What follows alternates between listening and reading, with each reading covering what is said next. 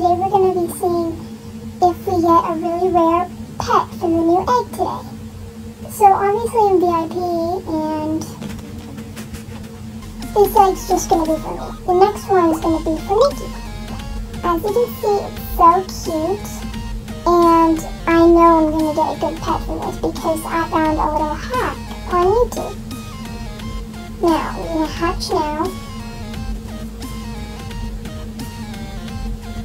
Oh my gosh. It's happening. It's happening. What? I just spent all my money for five hours of it.